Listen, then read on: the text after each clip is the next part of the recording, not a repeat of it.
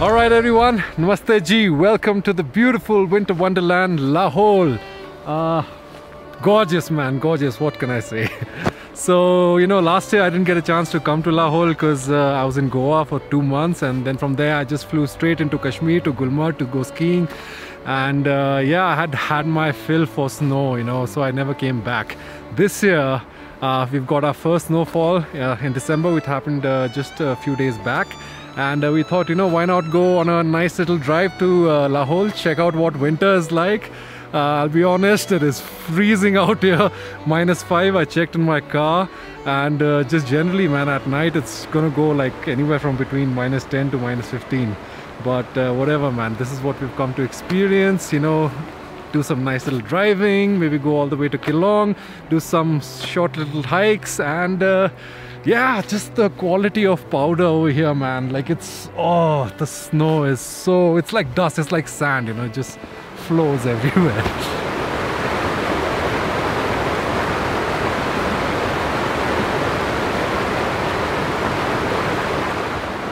Okay, so we are in the very beautiful Sissu village, and uh, man, it looks completely different. And this year we've actually come to Lahaul probably like 30 times through the tunnel. Easily. Easily. Easily. And uh, the first time crossing it in the winter, you know, things are frozen on both the sides. Uh, it's like a completely different place. but uh, I'm really, really curious to know what the Sissu waterfall looks like. And uh, I think we're the first ones actually going because there are no tracks over here. Yeah. So, yeah. It's like a workout. You can feel my calves burning with every step. But I'm gonna channel my inner Nimsdai. and push it. Listen, this is my 8000 meter feet, okay?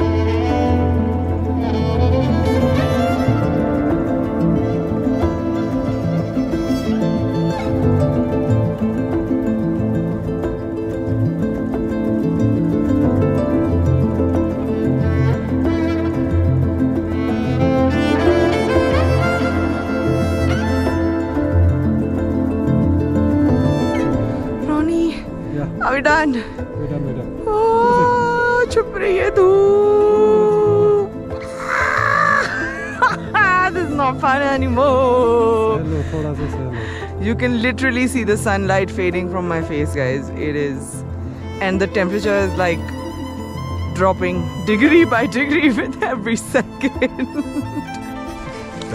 Chal Ronnie let's go. Come come come. Let's go. Wanna have a cup of coffee? There's a new place over here they've told me. That's okay. Anything? Let's go run run. Run, run, run, run. run my god. Oh, oh I need a coffee so bad.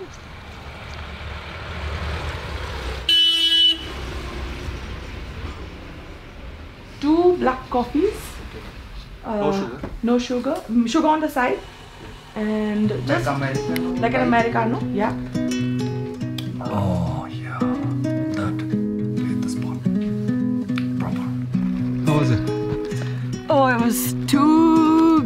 like मजा आ गया सच like seriously like I can't even believe we have a coffee shop with a patisserie right here True. in Sissu which is awesome now all the Lahul needs is a really nice banging restaurant and scene set hai fir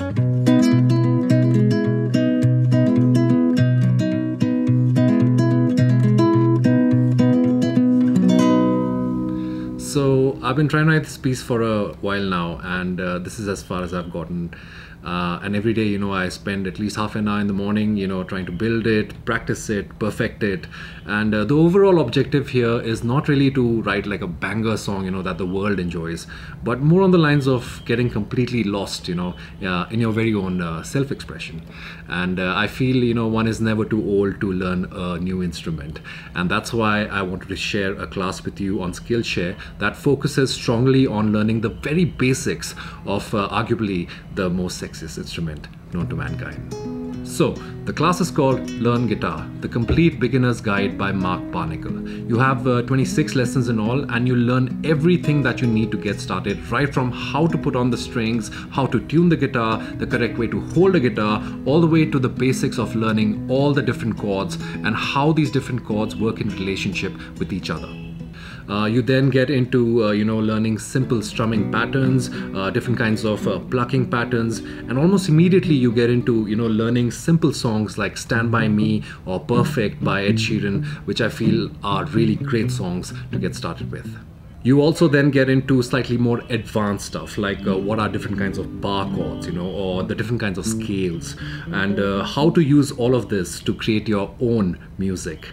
And uh, that is the point of it all. Uh, you know, you can play other people's songs, you know, just to learn a few things here and there. But when you start creating your own music, that feeling, man, that feeling is what you're after. And uh, this class gets you going in that direction. So we've been using Skillshare for a while now and it's really helped us brush up on some of our skills and like learn a lot of new fun things.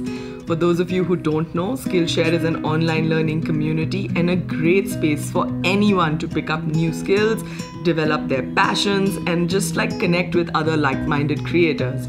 You can choose from a wide range of classes on topics such as film and video, animation, music, bread making, bartending, and even learn how to become an influencer. The browsing experience on their website is designed to recommend classes based on your creative interests. They even curate recommended lists of classes where you can really take a deep dive into the topic of your choice. The classes are divided into beginner, intermediate, and advanced levels, so you can filter through them and get to the level that you want. Some classes even end with you working on like short projects that you can then upload to the platform, get feedback, have discussions. They even have classes by some Indian creators like Alicia Souza's illustration class and Ekta Chaudhry's gardening class. When you join Skillshare, you'll get an unlimited access to their entire library of classes for less than 2000 rupees annually, which works out to like 166 bucks a month. I mean, that's cheaper than ordering home a pizza these days.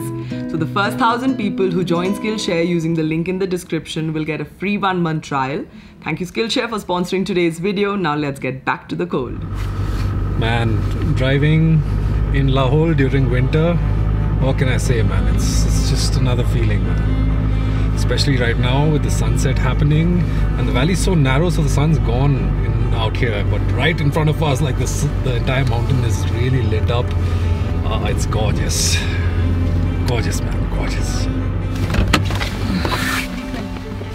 320 crazy. Okay guys so this is the other stop I usually make whenever I'm in Lahaul.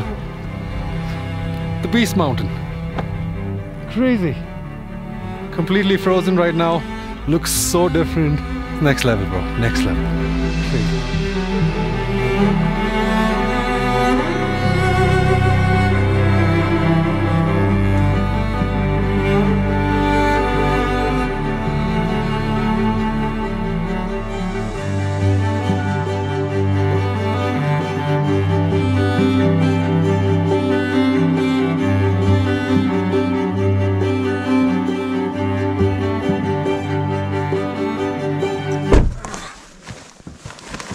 Okay, made it to Keylong now. The only concern is the temperatures are gonna go way below minus 8 and uh, diesel freezes at minus 8.1. So I'm 100% sure my car's not gonna start early in the morning. We'll have to wait till the sun. Dekhi jayegi We'll see tomorrow whatever happens. Happens. Chalo.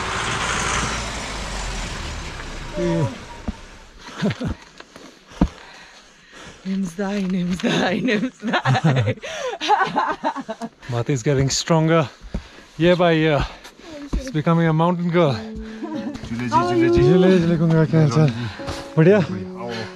Oh, it's ready.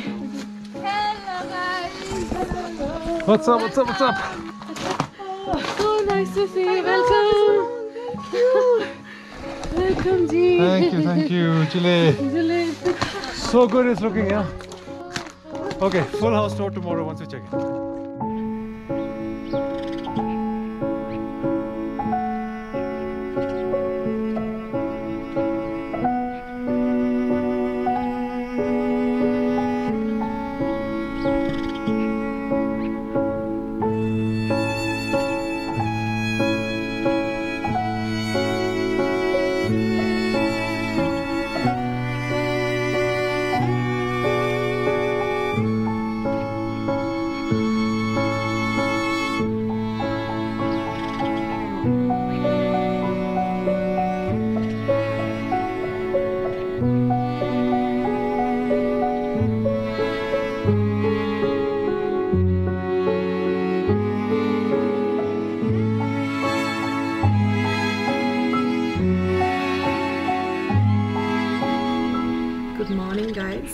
Welcome to Keylong. It's a crisp minus two degrees this morning, but we are really nice and warm and cozy inside this beautiful mud house. This morning was like uh, quite a surreal sight to wake up to this gorgeous, gorgeous view outside our window where everything is just whitewashed in snow and it's just like this really beautiful winter wonderland kind of feeling. It touched maybe minus 15 last night, maybe even lower. I thought Lahul would be an un- uninhabitable place, especially for someone like me, like who's grown up in the city in Bombay and who finds Manali like bitingly cold, you know. But uh, I am quite pleasantly surprised, and I think a large part definitely has to do with the fact that we spent the night in this mud house. Yeah, like it really is so well insulated and so cozy, and these boy, these guys have also like Tanzan and team have done it up so nicely that. Uh, like we were supposed to stay here one night and i think we're going to extend our trip by another two or three for sure Okay, so uh, this place is uh, called Zomsa. It's in Keylong, and Zomsa, I think, uh, in the Tibetan language means a gathering, and uh, that's exactly what happened uh, last night. You know, uh, was so I was so happy, man, to see all the people who had helped uh, build this house come together, uh, different villages from uh, all around, you know, and uh, we sat together in and we had such amazing conversations about uh, where Lahaul is headed, you know, and in what direction everybody needs to go in. And these guys just constantly bringing you hot water in the beginning, and then you've got like butter tea coming in, and of course, man, after a while, you know, it comes down to the drinks. So we had some really nice country arak. Uh, we sat down, we danced. Oh my god, it was such a such a good feeling and so cozy with the fire lit and uh, just amazing people all around, you know. And I feel like uh, Tanzan and all are just doing such a great job when it comes to uh, taking local traditions, uh, local food, um, you know, all kinds of local handicrafts and presenting it in this sort of a modern stru- uh, way, you know. So overall, like if you really want to have that winter experience, you know, that living in complete negative temperatures, Lahaul is definitely the place to do it in December, January, Feb, even March, I would say. And uh, within Lahaul, Zomsa is the place where you can do it comfortably, like you know, traditionally. And uh, I can't wait to show you guys, you know, all around. Alright, guys, so let's go on a quick tour of the beautiful Zomsa. And I don't know how many of you remember, but in April we were right here plastering these walls, and today it's like ready and up and running. And I must say, I'm actually really, really impressed with the way they've got it going. So let's go inside. So as soon as you uh, come in through the door, you enter this little foyer kind of area uh, where you have the dry toilet and a separate washing area. And you have to take off your shoes because you're entering a traditional mud home. And um, usually Lahauli houses are actually built with a really low ceiling, and that's because you want to trap as much warmth inside. Uh, so all you tall people just mind your heads. All right. So this is the main cafe museum chilling area, and um, here we have Tanzan and Pallavi. What's up, guys? so they are the Tanzan is the founder of uh, Zomsa and Pallavi is his business partner, and the both of them have been working really hard to get this place up and running and up to like international standards. so all these artifacts that you see on display were actually found in the storeroom of this house and they were lying forgotten, gathering dust and cobwebs for very many years. And Tanzanam team have actually rummaged through all that stuff and salvaged all these pieces which are out here for you to see. And it's really cool because you do get to get a glimpse into a time that is now kind of lost. So these guys have four private bedrooms and a dormitory and the bedrooms range from like a single to this which is your premium room which is the fanciest room that they have. This is exactly the room that we are sleeping in on the first floor and it's awesome because it comes with its own fireplace. They also provide you with radiators. So in case the fireplace is not enough for you there's also a radiator to keep you going throughout the night. So this is the dorm room. I think they have about six bunk beds and one single bed. And i think if you're on a budget this is a great place to crash. So now we're gonna go to the first floor. But before we do that aren't these the coolest head mind your head. Okay so this is the first floor and uh, there are a bunch of rooms over here. This is the tiniest room that they have which is ideally for a single person. It's occupied right now by a guy who's actually studying for his civil services exams. He's come to find ekant in the mountains. What better place I didn't see that earlier. Oh my god, this used to be in my nana's house when I was growing up. It's a Dabba TV, guys. It's a Dabba TV. this is one of the smaller double bedrooms that they have. It's also very cute. So now we're gonna go down this hallway which has a bunch of rooms including ours but it's really messy so we're not gonna go inside. I wanted to show you this lantern. It's again something they found in the house but they've just had it rewired to get it working with electricity which is pretty cool. And then this whole wall is covered in like photographs that they've found from way back when some of them i think are maybe like 100 200 years old. And it's so beautiful to like actually see what Keylong looked like way back then right?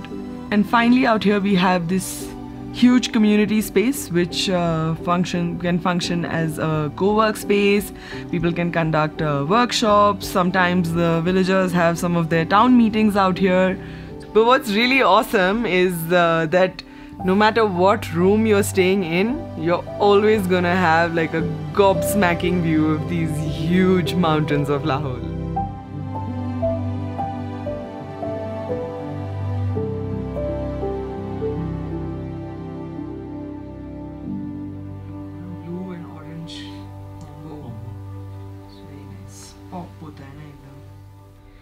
So Tanzan's also working on another initiative with the local women of Lahaul where they make these beautiful woolen knit products. Uh, Ronnie and I are actually just doing some Christmas shopping right now and I thought I'd share this with you guys as well. Uh, these products come so beautifully packaged. It's called Garsha Looms. You can check it out on his Instagram page. Okay, what's happening? Today we were supposed to, well, we were supposed to leave today, and that is not happening. Yesterday we had like another Zomsa situation going on at night, which went on till about 12 o'clock, and all of a sudden these guys decided that tonight they're gonna throw a party for all the ladies in the town. That's Who helped? who helped, you know, build build Zomsa. And now this has turned into like a big, big event. वो time नहीं है जल्दी जल्दी छिलो क्या कर रहे तुम लोग हैं लहसुन छिल के दो जल्दी जल्दी जल्दी छेती छेती छेती ये है जी आपका एट के जी ये है जी हमारा सकुचाय right? So as you can see, it's frenzy going on in the kitchen right now. Chopping, peeling, cleaning, smashing, all sorts of things. Everyone is coming to get ready for 6 p.m. this evening because that's when all the ladies are gonna show up and it's like all hands on deck. अम्मा जी special हाँ जी हाँ जी कैसा कैसा लगा जी आपको बहुत ही अच्छा अच्छा है आपने बनाया हम ये जरूरत क्या है तो फिर आएंगे बिल्कुल जी कभी भी आओ अपने घर I think journey has been pretty adventurous for us. The big responsibility on us was to, you know, stick to our vision, right? Because uh, we have knocked doors to people for funding, for everything. But at last, you know, it is the community that came into action, right? We all came together as a team. I so love it when people say to us that, you know, we feel like it's uh, Dadi's home. We feel like it's grandmom's home that we are visiting here and they love the vibe uh, and they like to you know sit together because i think in cities that's what we have forgotten right? We, we don't talk to each other. Uh, that's what people love here and that's why the name Zomsa is. Zomsa means that people coming together, right? I haven't seen anyone going sad out of this place, so that's the USP.